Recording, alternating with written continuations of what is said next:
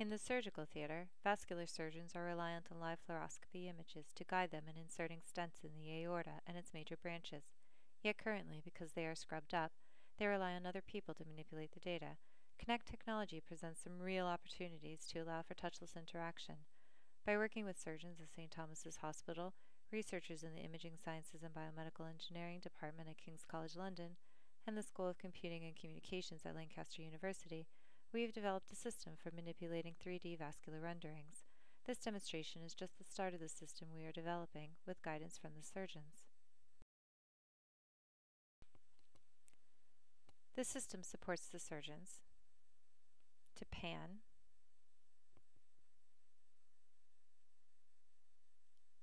zoom,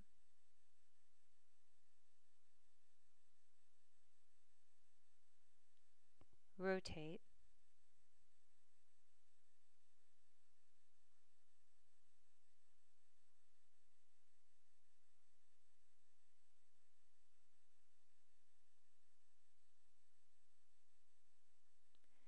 and lock the image for referencing during discussion and manipulation mode. When the image is not being manipulated, pointer mode allows for referencing of the image and fading of the 3D overlay to view the underlying live fluoroscopy image.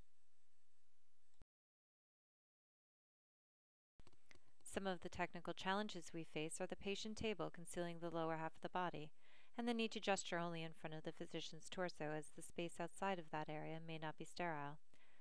With this system, we are exploring both one-handed and two-handed interaction. Two-handed interactions provide a rich catalog of manipulations, but one-handed options are important to support as surgeons often need to hold instruments in place while they manipulate the images. These manipulations are able to be done at the bedside with one or more surgeons being able to reference the image with pointers. Or one surgeon taking control of the manipulation of the images by waving to enter manipulation mode, while the other surgeon continues to be able to reference the image through a pointer.